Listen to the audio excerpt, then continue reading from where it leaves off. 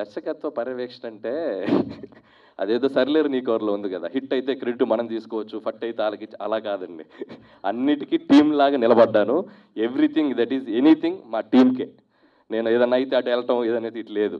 So ఇంట్ దాంట్లో involve అయ్యాను. మా సినిమా అనుకొని మన సినిమా అనుకొని పనిచేసాం. కంప్లీట్ ఎఫర్ట్స్ పెట్టాం.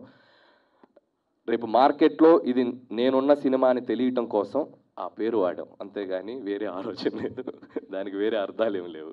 So this is our film this is team work everything we did as a team so Gali Sampath credit మొత్తం మా టీం అందరికీ చెల్లుద్దని నేను అనుకుంటున్నాను. థ్యాంక్ యూ ఇంకేమన్నారు నేను ప్రొడ్యూసర్ నవ్వనండి. రాజుగారి సాక్షిగా.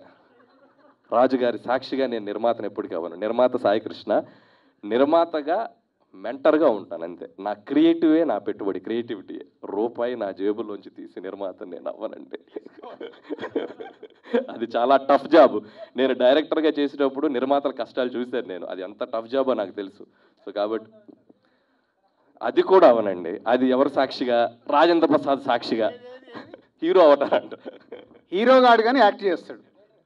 నాకు ప్రామిస్ చేశాడు అది. చేసావుగా?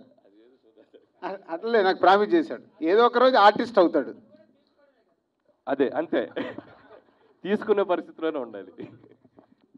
Thank you thank you